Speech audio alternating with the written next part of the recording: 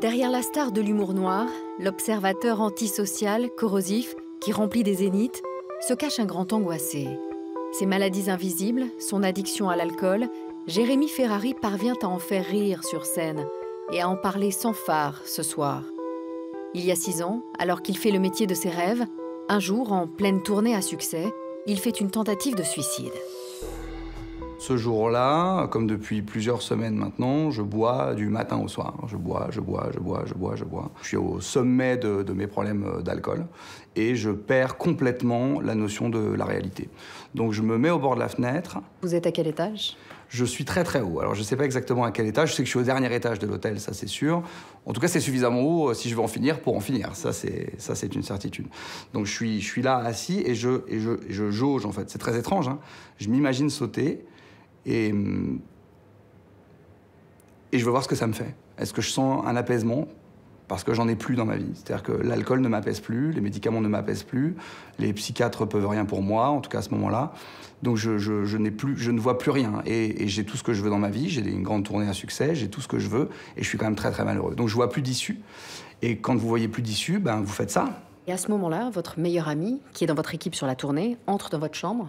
Voilà, euh, c'est Il vous découvre, assis euh, sur le bord de la fenêtre, les pieds dans le vide.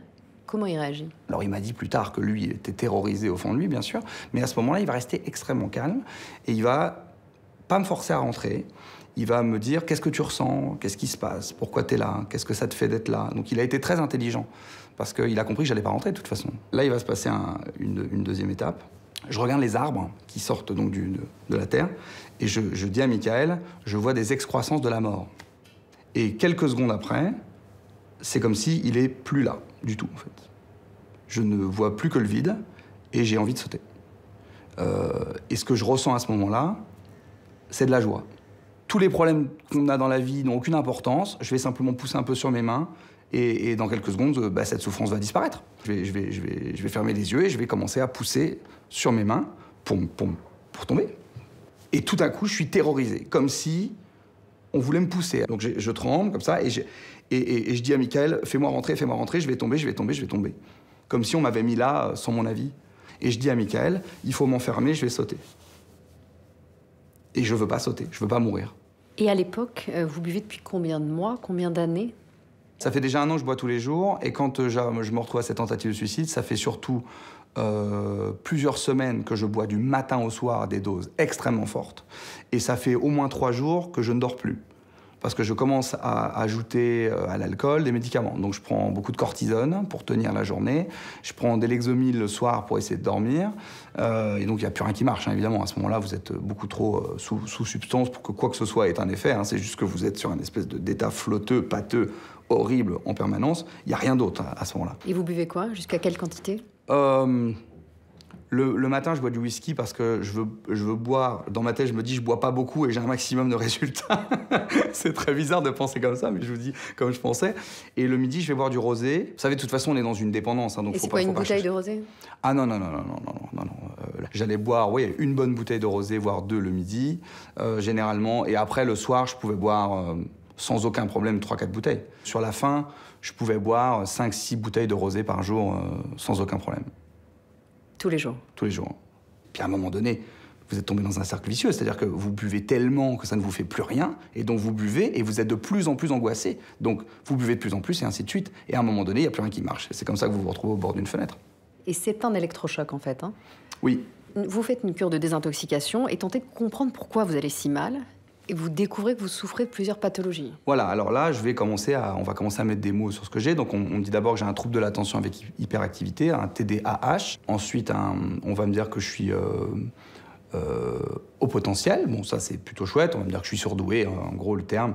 Et après, ils vont m'expliquer que quand on a un trouble de l'attention avec hyperactivité, qu'on est au potentiel, généralement, ça peut créer d'autres pathologies, que c'est donc mon cas, et que je suis obsessionnel compulsif et obsessionnel idéatif. C'est-à-dire c'est- alors, ça, je ne l'ai pas découvert tout de suite, parce que moi, j'avais beaucoup de flashs ou des images qui peuvent arriver à n'importe quel moment. Ça, c'est plus compliqué. C'est-à-dire, je vais être en train de parler avec vous, puis d'un coup, je vais avoir une image d'un truc horrible. Je vais me réveiller un matin, je vais me dire, euh, je sais pas, j'ai le sida, par exemple. Alors, aucune raison d'avoir le sida, mais je, je vais me dire, j'ai le sida. Et donc, euh, et donc, pendant toute la journée, j'ai des flashs de moi en train de mourir. Donc, euh, je vais voir ma mère, je me dis, c'est la dernière fois que je la vois. Euh, donc, je m'arrête à un feu rouge. je vois qu'il y a un hôpital pas loin, et là je me dis, ah, il y a plein de gens qui ont eu le sida, qui se sont arrêtés au même feu rouge et qui ont eu la lumière du feu rouge sur leur visage, comme moi en ce moment. Donc je ne supporte plus la lumière du visage, la lumière du feu rouge. voyez C'est-à-dire que c'est ça qui est incroyable avec le cerveau, c'est qu'en fait il va créer des liens avec tout et n'importe quoi. Donc l'environnement devient une attaque permanente. Et je bois pour faire taire tout ça, pour que dans ma tête, pour que dans ma tête ça s'arrête. Et ces maladies invisibles euh, vous rendent donc impulsif, voire agressif hmm J'ai dit des choses terribles aux gens que j'aimais, des, des, des, des, choses vraiment horribles, des choses très méchantes aux, gens, aux gens que j'aimais. Euh, parce que, en fait, c'est une cocotte minute dans votre tête. Et le succès n'apaise rien Le succès n'apaise rien. Alors, ça me crée des moments. Euh, de grâce incroyables sur scène parce que parce qu'effectivement sur scène tout d'un coup il n'y a plus d'angoisse, il n'y a plus rien tout s'arrête sur scène. Sur scène, je suis. Ah oui, même quand j'en parle, j'ai pris l'inspiration parce que c'est exactement ça. Vous voyez, je respire en fait. Et je me déteste tellement. Je me trouve tellement terrible euh, avec les gens que j'aime, etc. Que hum, je me dis, allez, je me rachète un peu là, peut-être. Peut-être je suis pas complètement acheté si j'arrive à, à donner au moins un peu de, de bonheur aux gens à ce moment-là sur scène, quoi. Et aujourd'hui, comment allez-vous? Aujourd'hui, je vais bien. Euh, aujourd'hui, je vais bien, je vais mieux. Bah, ça fait euh, bientôt six ans que, que je bois plus. Hein. Euh, et ça fait déjà quelques années que j'ai appris à gérer tous ces trucs dans ma tête. Je me suis dit, je vais éduquer mon cerveau. Le cerveau, vous savez, il est très bien fait. Si vous lui dites, si vous lui dites l'alcool c'est terminé, mais que vous lui dites vraiment l'alcool c'est terminé, il va trouver autre chose. Il a trouvé quoi d'autre? En fait, si vous voulez, j'étais déjà complètement fou de travail et de sport, mais j'ai tout multiplié. C'est-à-dire que je suis passé de 1h30 d'entraînement par jour à 3 heures. Et je suis tombé dans l'extrême inverse. C'est-à-dire que maintenant, je fais hyper attention à ce que je mange, à ce que je bois. Euh, je fais attention, je prends des compléments alimentaires. Je, fais, je, suis devenu un, cliché dans, l'autre sens. Mais bon. Un obsessionnel de votre hygiène de vie. Je suis devenu un peu chiant. mais je n'impose pas aux gens qui m'entourent. Hein. Ils peuvent boire, ils peuvent manger des hamburgers, je leur dis rien. Mais moi, je suis devenu un peu chiant. Vous n'avez plus de troubles? Si, j'ai encore les troubles, euh, mais c'est des chuchotements. On est passé de hurlements à des chuchotements. Alors les chuchotements, ça va.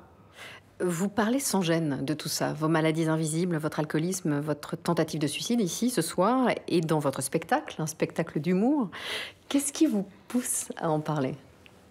C'est une manière de m'obliger à continuer, à, à pas faire d'idiotie. Parce que quand même, je, me, dis à tout le monde, je suis alcoolique, donc je peux plus m'asseoir en terrasse pour dire hey, je prendrais une petite bière. Parce que là, le serveur, il y a quand même une chance sur deux qui me disent Mais c'était pas vous à 7 à 8 qui disait que vous étiez alcoolique. Je vous sers pas, monsieur. Donc, il y a, évidemment une volonté de scléroser le fait de m'en être sorti, de l'écrire dans le marbre pour plus que ça bouge.